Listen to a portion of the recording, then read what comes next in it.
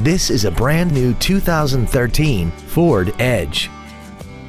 This crossover has an automatic transmission and a 3.5-liter V6.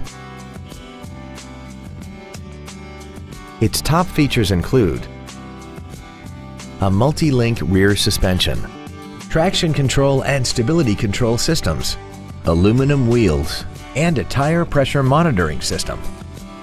The following features are also included.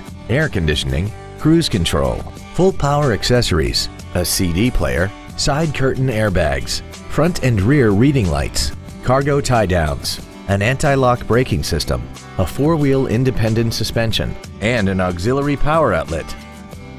Contact us today to arrange your test drive.